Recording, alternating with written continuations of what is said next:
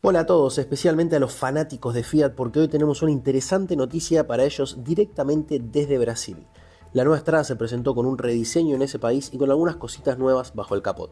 En este video vamos a sumergirnos en los detalles de esta renovación y descubrir algunas de las novedades que posiblemente lleguen a la Argentina, así que acompáñenos en este recorrido por la novedad regional más reciente de Fiat. La nueva Fiat Strada llegó con un diseño audaz y renovado que ya había estrenado en el último salto generacional hace un par de años.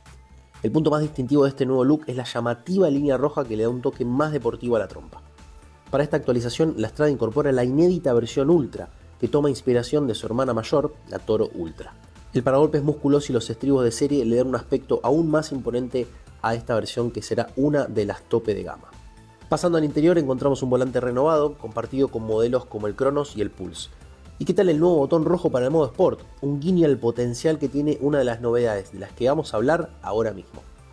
La Fiat Strada incorpora por primera vez el motor 1.0 turbo capaz de generar 125 caballos y 200 Nm de torque.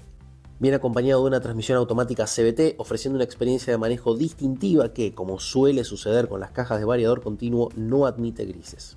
Ah, y en esta ocasión Fiat conmemora los 25 años de la Strada con una edición especial limitada colores exclusivos y placas numeradas en el interior a modo de festejo y por supuesto de distinción.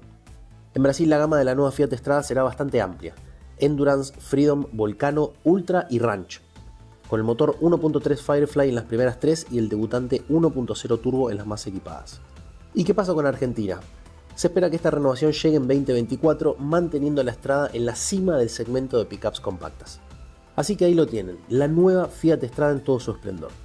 Un rediseño interesante que muchos incluso comparan con la S10 y un interior renovado la mantienen en un mercado vigente incluso para dentro de unos meses cuando se revele la actualización de la Volkswagen Sabeiro, su competencia en nuestro país.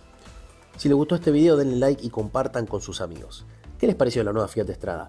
Déjennos sus comentarios abajo y no se olviden de seguirnos en nuestras redes sociales para estar al día con las últimas novedades, pruebas, datos y todo de la industria automotriz en Autotest.